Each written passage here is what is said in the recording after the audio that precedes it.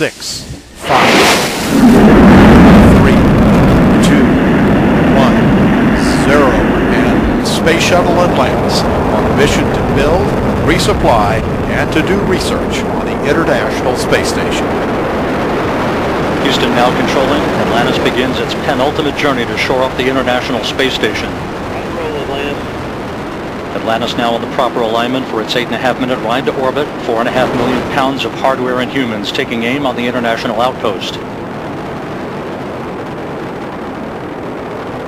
30 seconds into the flight.